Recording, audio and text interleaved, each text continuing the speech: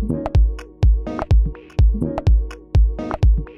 When you think of bustling marine life, usually a colorful reef comes to mind, but shipwrecks are also a biodiversity hotspot. Though these underwater relics can be home to ghost nets that are a dangerous trap for wildlife, like the HMS Perseus that sank in the Ionian Sea in Greece in 1941. Six volunteers from ghost diving ventured 164 feet down to the British World War II submarine to remove fishing nets and protect local wildlife like loggerhead sea turtles, dolphins, and monk seals. They performed three dives over five days, all lasting a little over an hour. Healthy Seas, who organized the dive, says altogether they cleaned up around 1,100 pounds of lost fishing gear. Check out the stunning before and after photos. The group says millions of marine animals die from being trapped in nylon nets, and each year about 640,000 tons of fishing gear is left in the oceans. And the plastic waste doesn't biodegrade, staying in our waters for hundreds of years. They say the nylon nets removed on this dive will be recycled and used to make socks, swimwear, and carpets.